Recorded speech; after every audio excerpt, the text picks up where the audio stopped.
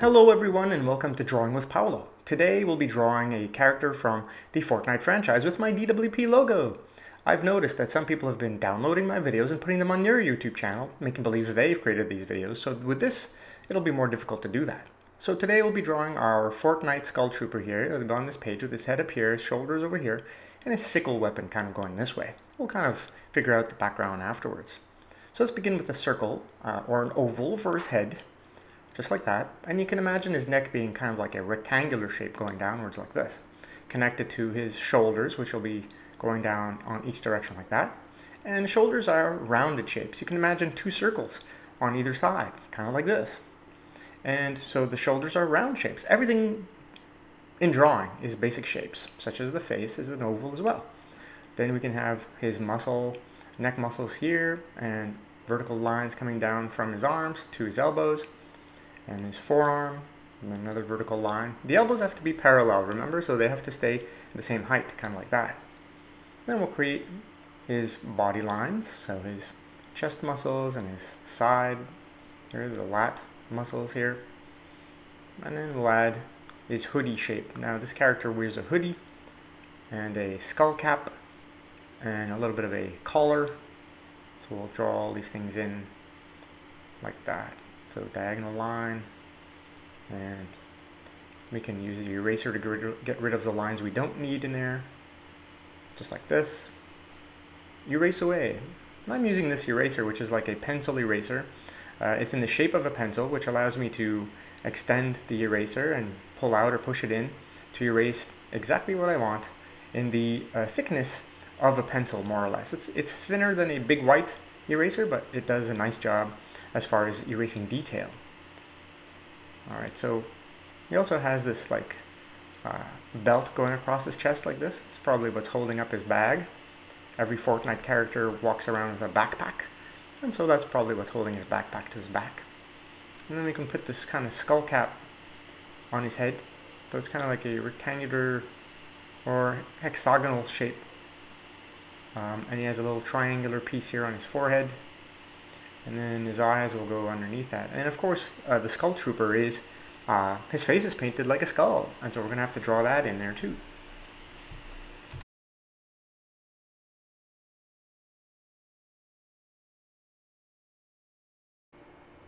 Okay, now we can put in his nose. It's kind of like a triangle. I will fill it in black.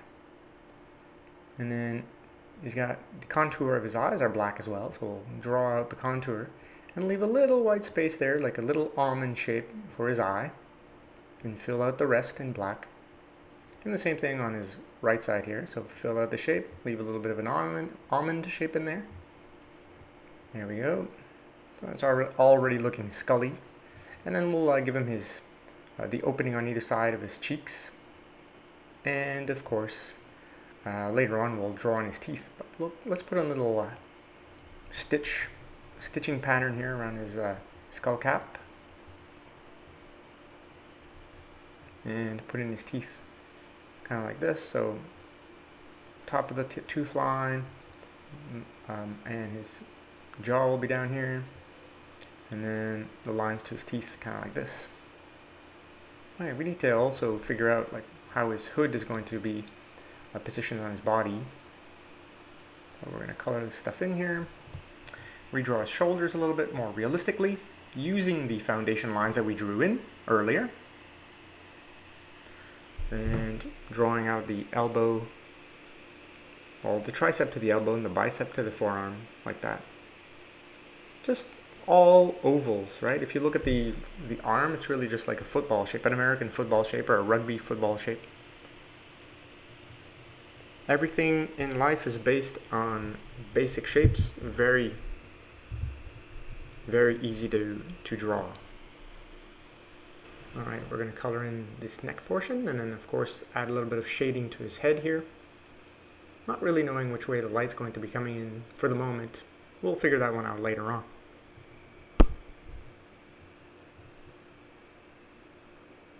All right, color in this little triangular piece here. Now, of course, um, the skull trooper is more or less black and white.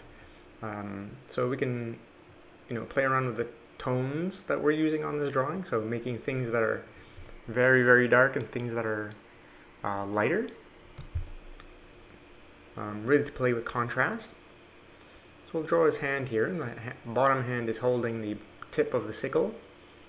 And people tend to say that hands are hard to draw. I see them as sausages, fingers anyway. Fingers are like sausages or, or rectangles um, that are rounded. There's a little bit of a detail here on top of his glove. And like with the stitching pattern in there, and then he has his glove that's kind of, or maybe it's his cuffs that are over here. I'll add more detail to that later on. And then we can add some more detail to his fingers. Like retrace the outline to make sure, you know, we're satisfied with those lines, so we'll darken them. And we'll color those in. Now as I color, I might accelerate this coloring because it's the boring part of the drawing. Uh, for the rest of the, the, the, picture, the drawing, this will be about a 30 minute, 20, 26 to 30 minute uh, drawing, so certain parts I'll accelerate. Um, and to catch up, all you need to do is hit pause, and then, you know, color your portion and then hit play again. I tend to recommend to watch the entire video before beginning to draw, but you know, that's really up to you. You're the master of YouTube. You do what you want to do. And you do you. You watch the way you want to watch. And of course, the Skull Trooper has these uh, you know, skeleton bone patterns on his uh, suit, so we'll try to represent those. We'll try to represent those on his uh, uniform here. Get those going in a nice pattern and, and then color everything around that bone. So it makes sense.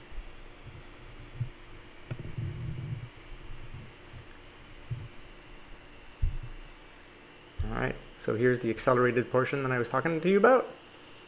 Just so that we can, you know, keep things on time and on track now. Some, some of you have said that I draw too quickly, but you don't have to watch in real time. You can pause me at any time. So don't be afraid to hit that pause button or even rewind the video and rewatch it. That's not a problem. All right, so we got a bit more detail going on here. Oh, I just lost my... That's what I like about these these mechanical pencils. You can just press a button and then the lead comes out. Uh, no need for sharpening, and that's why I use these. I'm kind of lazy a little bit. I don't like to have to sharpen my tools. Um, and so I like to use these mechanical pencils. But there are some that are not so good, like kind of the lead inside of this pencil seems to be rather brittle.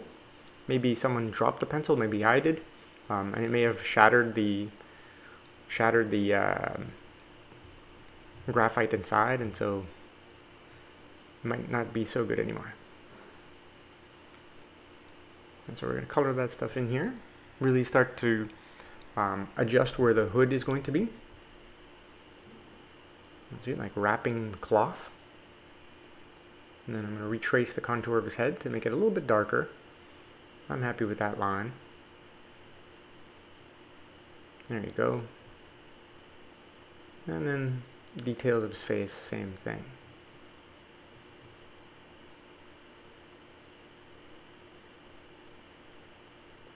Just darken in some, some portions of it to really play with the contrast. Now the next step is he has this chest uh, illustration here on his chest. it's essentially uh, the rib cage, and so it's a, we'll need to draw the rib cage, uh, and it's in multiple parts. So this kind of reminds me of the Spider-Man logo, um, you know, just in the way that it's shaped. But essentially, it's just little bony pieces like the uh, clavicle here that stem from the middle portion, sternum, that goes all the way up like that. And there's another one over here that goes all the way to the left side, points, come back. And you keep doing that until, you know, you're satisfied. Now, you don't need to have the same number as I do. You don't need to have more or fewer. I mean, you put as many as you think your character needs. It's not real anatomy, so we're not uh, drawing how many bones there really are in the human body. That doesn't really matter. Just have fun drawing this stuff. You know, drawing should be fun. And if you're not having a, a, good time, you're probably putting too much pressure on yourself. So just have fun with it. Like for the sickle, this sickle, for example, I'm just, you know, drawing lines like this, And, you know, are they positioned properly for the, the other hand? I don't know. We'll find out when we draw the other hand. Um, but, you know, I'm not like going crazy and trying to make the lines perfect. Just drawing here, having little pencil strokes and getting things in the right direction. And then using, of course, my eraser to get rid of lines that I don't want anymore. Now this is a sickle, so technically this should be a really pointed part at the top. Um, attached to this cylinder piece here and it starts with a rectangle in the back and then it goes straight and then down and then to a point a little bit of a curve here and then back to that rectangular sheet, uh, shape in the back there. There we go and then there's the uh, sharpening edge here that we can see within the sickle itself and then the thickness of it goes below whoop, and underneath. Eh, kind of closed that too soon but it doesn't matter. It's my drawing I don't care I'm, I'm having fun are you having fun I hope you're having fun having fun drawing this Skull Trooper from Fortnite. Fortnite is very popular these days, so uh, maybe I'll make a few of these Fortnite videos um, because of the fan base. Maybe some of you out there would like to draw these characters and uh, practice them. And then once we've done a few, you can draw a whole bunch of them. The body position can be the same for every character, and you just change the way the costume looks like. The light, by the way, will become this way, and so the underside here is dark, and everything else, the entire character should be affected by where that light source is coming from. And so we'll add the other bone here, other bone detail, just like that. Coloring the arm, so we'll accelerate that a little bit. You'll see, color all this stuff in here to the bicep, and then we'll do the same thing for the chest piece. Not very many details as far as the you know muscles are concerned today. We can uh, color in or let's say erase um, some of the drawing portions so we can better see the bones there. If you don't want to do that, then you don't have to. Remember, my drawings are really only uh, a guide. So if you want to draw it differently, then please do so. Uh, make your drawing yours. And so my drawings are really just a, a map. So imagine Google Maps saying, hey, you can turn on this street to get to your destination. But if there are choices of two or three other streets, uh, you can take those streets too, as long as they get you to your destination. This is essentially the same thing with my drawings. I'm giving you guys a step-by-step -step process, but you can change it at any point in time, make it better, um, make it different, make it yours. All right, so we're going to color between these uh, bone pieces. And I'm drawing in the kitchen today, so as um, clouds go over the sun, my drawing changes color. I apologize for that but I can't control the sun so much. But I like drawing uh, with the light of the outside. Outdoor light as uh, illumination. That's better when it's not a cloudy day. Alright, so forearm here, which will attach to the bicep, of course. We'll color that in here, bicep tricep portion. And then we'll put his other hand here holding the sickle. So you know, it didn't really matter where I put the sickle, essentially, is now I can just put the hand where the sickle is, rather than try to draw two hands and then try to put the sickle between them. Um, I can just draw the hand on the sickle here, so back of the hand here, and erase the sickle going through the hand. We don't need to see that anymore. And then draw the knuckles, you know, kind of following the finger pattern here. I'm trying to go quickly because I know that people don't want to spend hours in front of a drawing, so I'm trying to keep these under 30 minutes if possible. And color in this left hand. It's his right hand, but it's our left hand. And to say that it's on the left side of our drawing. And notice that I left a little bit of white on the knuckles just to give the idea of a little bit of light reflection there. Okay, we should draw the bone piece here on his forearm. So this is where his forearm bone would be, and then up to the elbow. And there should be all this stuff in black. Blacken it out. And we can make this a little bit darker because it's within that shaded section behind the sickle. And the sickle may be even creating a bit of a shadow here. Maybe there's a second light source coming from the right side That's creating a shadow onto our forearm. Now keep in mind, because I'm right-handed, every time I move my hand to the left side of the picture, I'm going to be dirtying my hand, which in turn will be dirtying the picture. But that's fine, we can use that. Um, if you've seen other other other ones of my videos or the other videos, you've noticed that I use that to our advantage. You know, I I'll erase certain portions of the drawing to make it look like there are reflections, um, and so the white paper comes out through the erasing uh, the erasing process and gives us a nice uh, reflection to our drawing. I don't know that we'll need to do that here today, but anyway, we'll we'll definitely keep the bones white. And so we'll add a little bit of shadow here, that shadow going through the bone sector too. And then we'll retrace the outline of our sickle. The sickle handle, follow that line as best you can. If you don't follow it exactly, it doesn't really matter. There we go, pull these lines across. Nice. That's what we want to do. Um, you know, this sickle is made of wood, and so we can kind of add like a wood texture to it. If you would like yours to look more like metal, and you can make some round strips around it to make it look like it's metal. Well, we'll, we'll even wrap ours in, in uh, bandages. This character's sickle is wrapped in bandages here. It's to get better grip, I suppose and uh, we'll bring that all the way oops I ran out of lead here so we'll add a bit more well it's actually graphite today so we'll take a little piece. And this is how fast these guys load. Take a little um, bit of graphite they're 0.7 so I put it right here into the pencil and then I put the eraser right back on top to plug it up just like that. Hey and then click it back out and we're ready to go. Yeah, super simple. No need for sharpeners or another pencil or anything. Just additional lead. I'm using 0.07 by the way, for those of you uh, trying to figure out what I'm doing, or 0.7, I think it's 0.7. Trying to figure out what tools I use. I do have a tools video, so if you check out my YouTube channel, you'll find a video on the tools that I use to draw, and they're essentially what you see here. White eraser, big white eraser, um, pencil sized or shaped eraser, and of course my mechanical pencils, which makes life easier for me.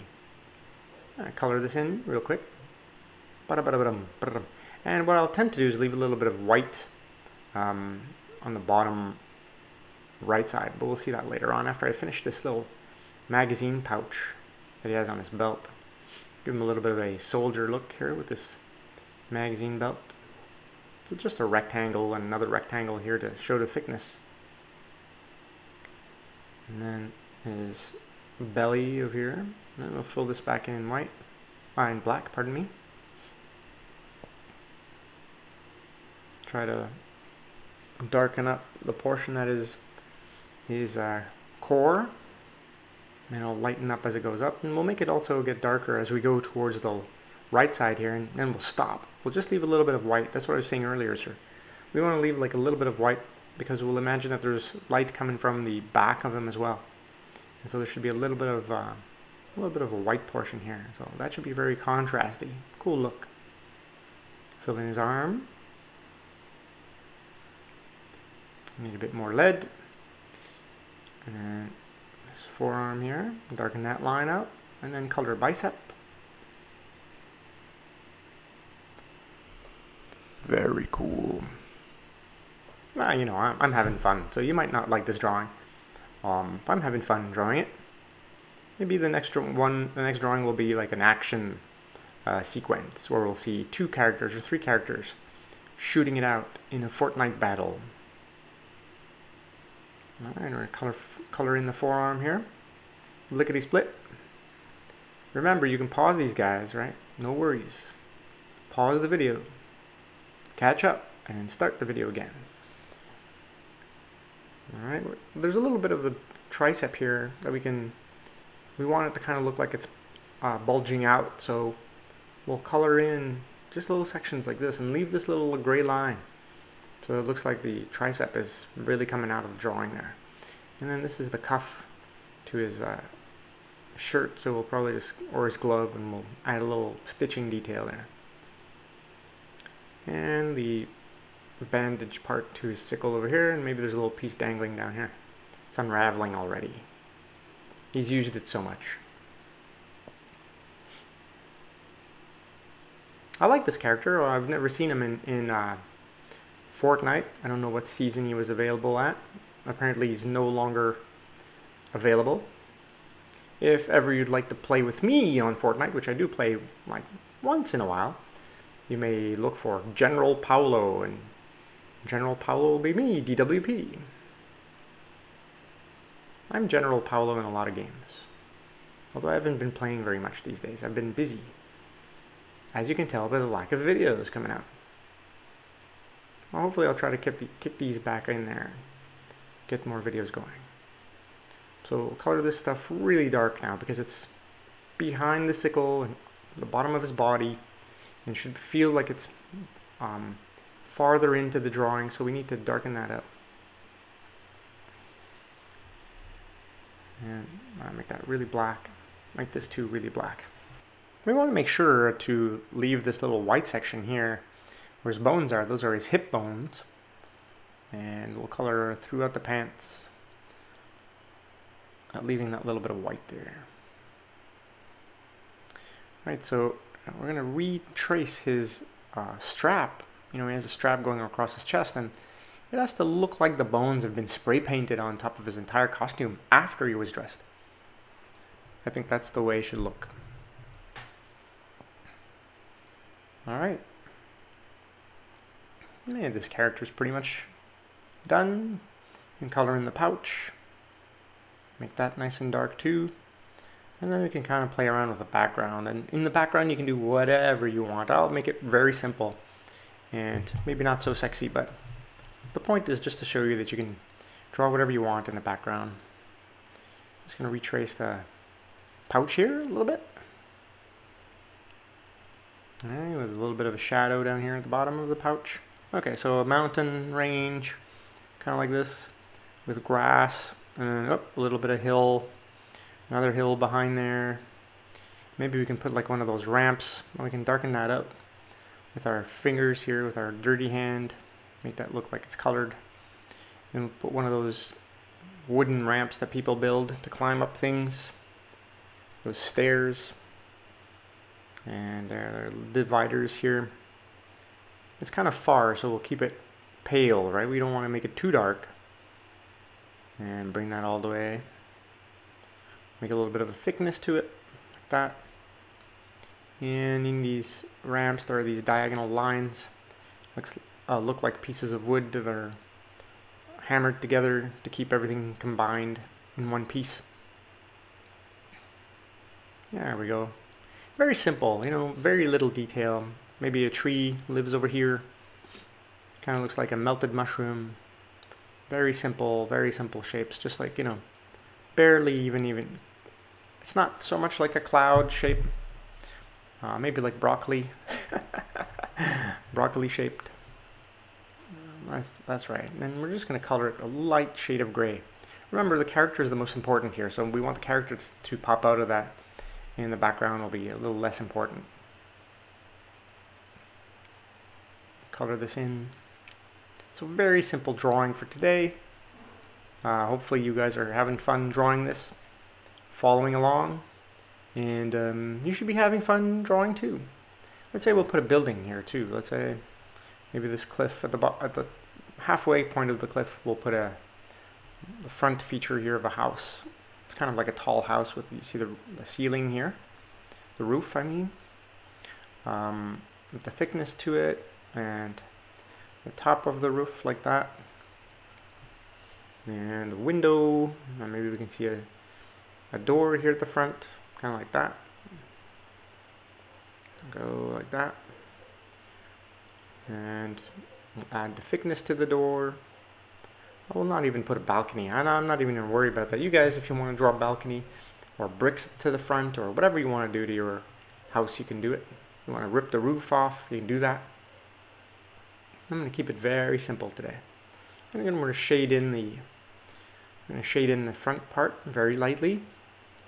And then the side will be a little bit darker, just to give it some contrast to it. So I'm going to darken this part just a little, I'm applying just a little bit more pressure on my pencil. Just a tad more than we did for the front. And maybe the moon lives here too. Very simple, keeping it very, very simple. Just circular shapes. Nothing too fancy. Then I'm gonna, you know, there's a few things I'd like to finish off here on this character. Making certain parts a bit darker and whatnot. Um, but that's that. I'm thinking this is pretty much um, a completed drawing. If you'd like to add more stuff, go ahead. If you'd like to um, change things, go ahead. This is you now your drawing. You do what you want with it. Um, feel free to share them on Instagram. That's where I am now. People are looking for me all over the place. I mostly use Instagram more than anything else. And so you, if you have an Instagram account, you can add the drawing on Instagram and the hashtag drawing with Paolo and or at drawing with Paolo. Last bit, my signature. Hey guys, have a great day. I'll see you next time. Another episode of Drawing with Paolo.